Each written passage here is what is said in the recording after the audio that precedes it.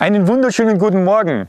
Ich habe schon wieder die Sonnenbrille auf. Das liegt schlicht und ergreifend daran, dass die Sonnenstrahlen jetzt am frühen Morgen ganz flach auf mich treffen und ich sonst überhaupt nichts sehen würde.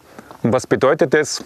Na klar, wir haben wunderschönes Wetter und dementsprechend werden wir jetzt gleich eine neue Radtour in Angriff nehmen. Heute sind wir im Pfaffenwinkel und die Tour, die wir jetzt gleich fahren werden, die geht rund um den Lech. Wir beginnen das Ganze in Peiting. Das ist einfach der Ort, wo man am allerbesten das Auto abstellen kann. Dann rollen wir ein Stückchen bergab und sind auch gleich in Schongau. Dort geht es erstmal durch die historische Altstadt und dann fahren wir den Lech flussaufwärts bis nach Lechbruck. Dort queren wir den Fluss, dann geht es rüber zur weltbekannten Wieskirche, von der Wieskirche nach Steingaden und dann wieder zurück nach Peiting. Ich bin der Bike Mike und was wir auf dieser Tour alles Schönes erleben werden, das zeige ich euch gleich.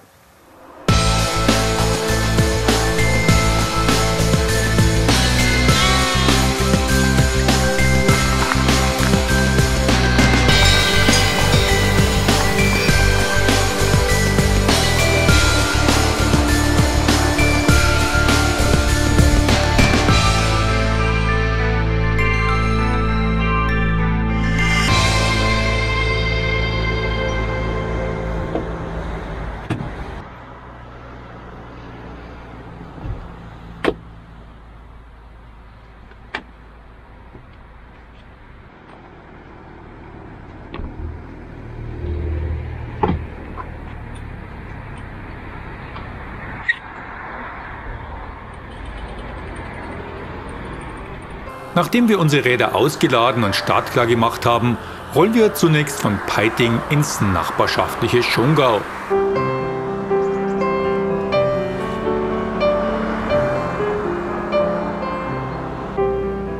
Die kleine Stadt beherbergt gut 12.000 Einwohner und liegt direkt am Lech. Schongau besitzt eine wirklich sehenswerte historische Altstadt, die sich auf einem kleinen Hügel erstreckt, der früher an beiden Seiten vom Lech umflossen wurde. Sozusagen eine kleine Trutzburg, die sich ideal verteidigen ließ. Heute glänzt die Altstadt mit zahlreichen historischen Gebäuden, umrahmt von Bars und Cafés sowie einer fast vollständig erhaltenen Stadtmauer.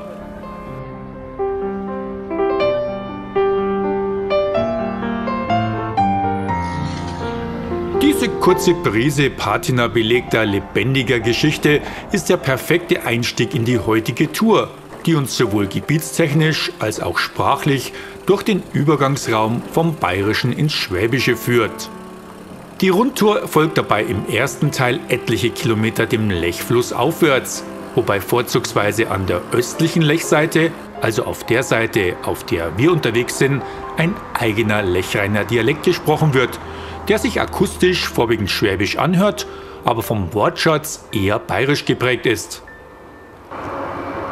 Und schwuppdiwupp sind wir draußen aus der Stadt und es geht in aller Ruhe und Einsamkeit weiter. Wir sind heute wieder zu zweit unterwegs, die Silke und meine Wenigkeit. Und lassen uns jetzt mal überraschen, was da alles Schönes am und um den Lech auf uns zukommt.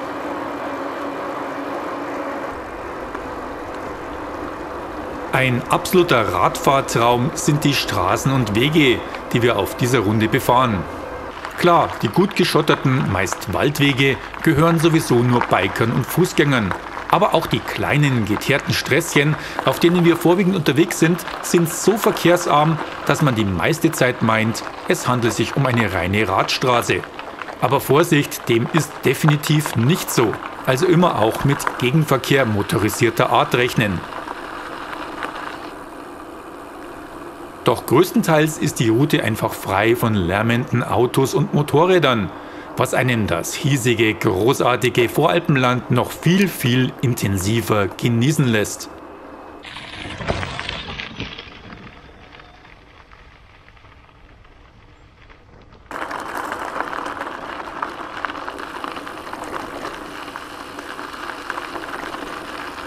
Ein fantastischer Weg führt uns hier immer wieder mal kurz durch den Wald und dann wieder auf weite Felder hinaus, wo wir einen perfekten Blick haben auf den Alpenhauptkamm. Absolut irre.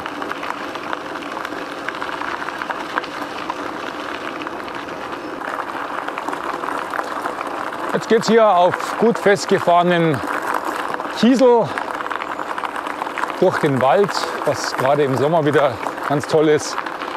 Sehr, sehr warm ist draußen. Hat man hier eine gute Beschattung. Sehr schön zum Fahren, sehr ruhig, tolle Luft. Was will man mehr?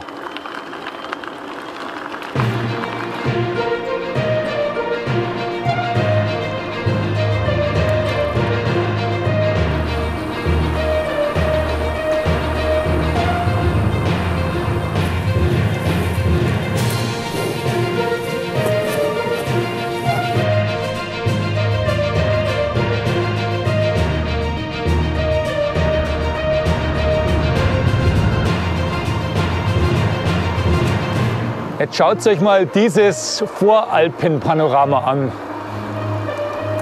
Unglaublich.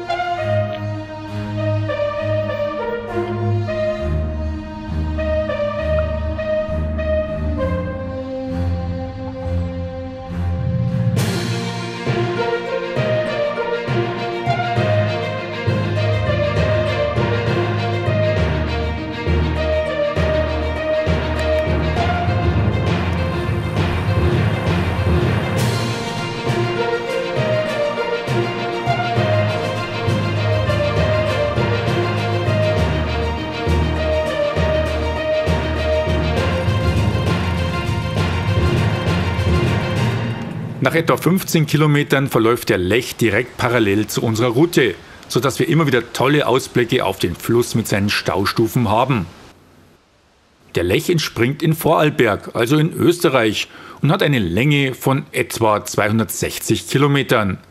In Deutschland fließt er von Füssen bis Marxheim, wo er in die Donau mündet.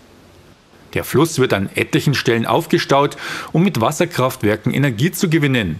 In einigen Fällen wurden dadurch größere künstliche Seen angelegt, wie zum Beispiel der Forgensee bei Füssen oder auch der Lechstausee Urspring bei Lechbruck, wo wir jetzt den Fluss queren und Richtung Osten einschwenken.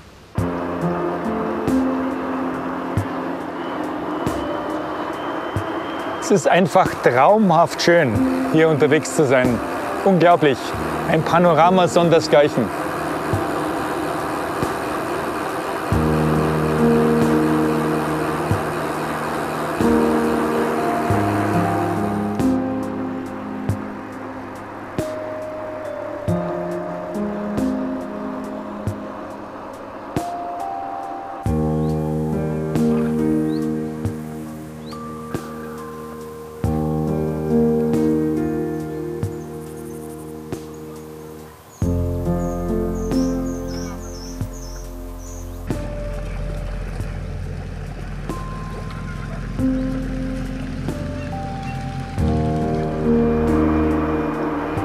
Nachdem wir jetzt eine Weile an der Lechstaustufe entlang gefahren sind mit diesem wunderschönen kreierten Naherholungsgebiet, erreichen wir jetzt Lechbruck.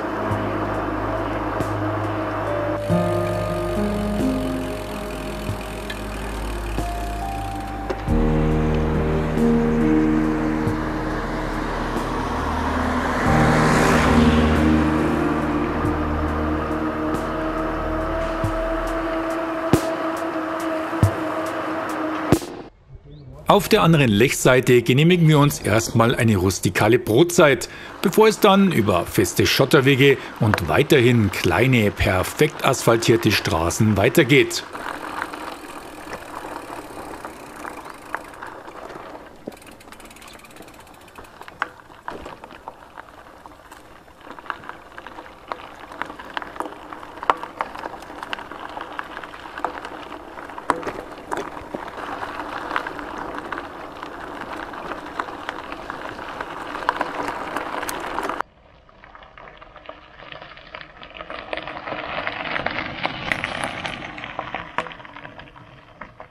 Sind wir bisher zwar auch nicht ausschließlich flach gefahren, so wird es nun spürbar hügeliger, was sich in dem bemerkbar macht, dass sich sowohl Auf- als auch Abfahrten in kurzen Abständen die Klinke in die Hand geben. Im Fachjargon spricht man von kopiertem Gelände, das uns nun bis zum Ende der Tour auch nicht mehr loslässt.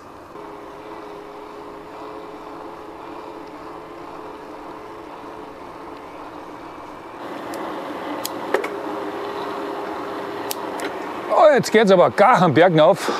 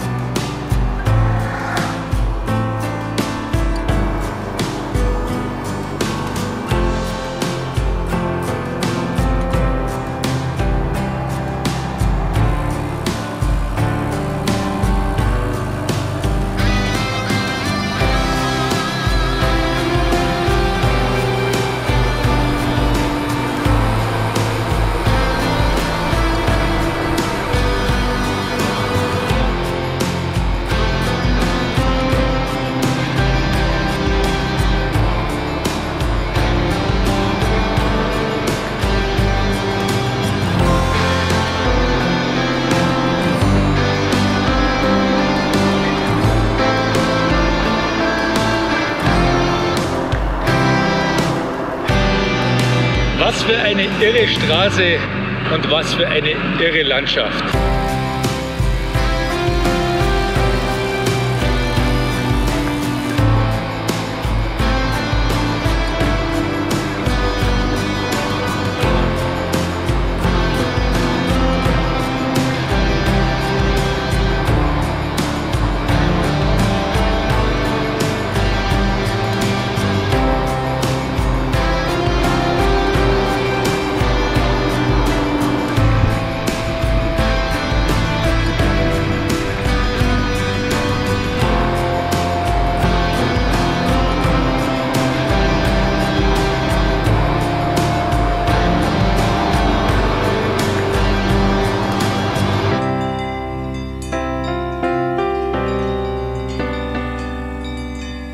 Nach ziemlich genau 40 Kilometern erreichen wir die Wieskirche oder ganz korrekt die Wallfahrtskirche zum gegeißelten Heiland auf der Wies.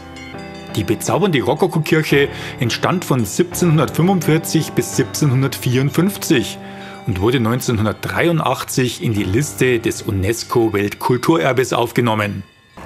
Damit wurde der künstlerischen Bedeutung des von den Brüdern Dominikus und Johannes Baptist Zimmermann erschaffenen Gotteshauses Rechnung getragen. Beauftragt wurde die Kirche vom damaligen Kloster Steingaden, das an der enormen Kostenexplosion des Bauwerks fast zugrunde gegangen wäre. So kostete die Wieskirche nicht die ursprünglich geplante Summe von 30.000 Gulden, sondern verschlang bis zu ihrer Fertigstellung 180.000 Gulden. Die Elbphilharmonie in Hamburg oder der Berliner Flughafen lässt grüßen. Bereits bevor die Kirche auf der Wies errichtet wurde, war der Flecken des heutigen Prunkbaus zum Wallfahrtsort geworden. Anlass war ein Bild des Gegeißelten, das im Besitz des hier ansässigen Bauern war und aus dessen Augen eines Tages vermeintliche Tränen hervorquollen. Als sich dieses Wunder verbreitete, zog es unzählige Menschen in die Wies. Heutzutage sind es über eine Million Besucher im Jahr, die das prachtvolle Rokoko-Bauwerk mitsamt seinen Fresken, Kanzeln, Altan und Stuckarbeiten besuchen.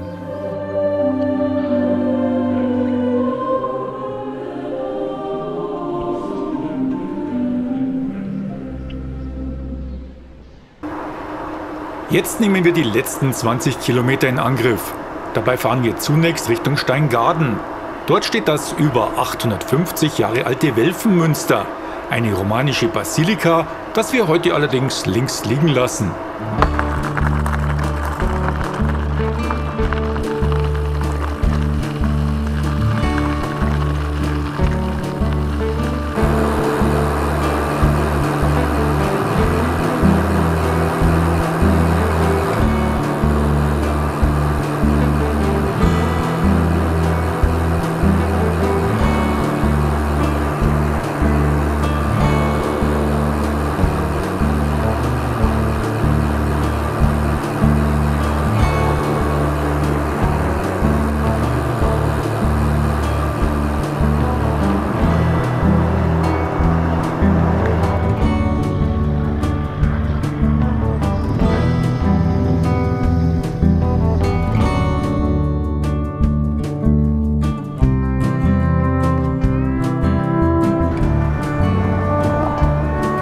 Wir durchqueren den kleinen Ort über den gepflasterten Marktplatz und fahren nun auf der östlichen Lechseite über kleine, aber sehr feine Sträßchen zurück nach Peiting.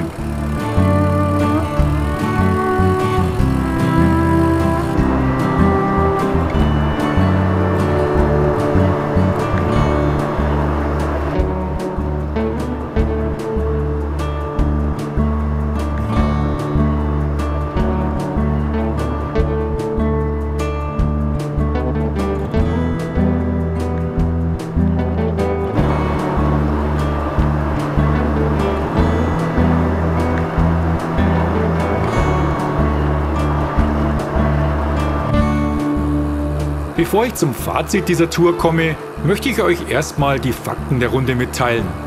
Wenn ihr die Radtour genauso nachfahren wollt wie eben gezeigt, müsst ihr gute 61 Kilometer zurücklegen.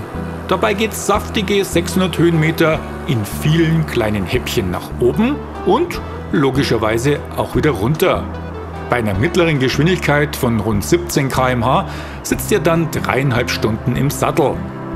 Wer den Track für ein Navi braucht, kann ihn unter www.bikemike.net ganz einfach runterladen.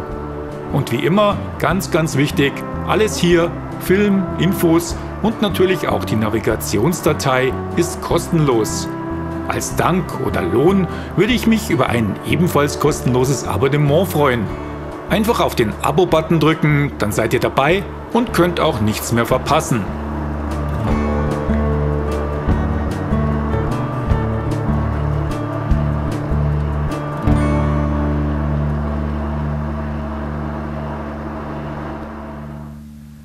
So Leute, wumm, die Tour ist schon wieder vorbei.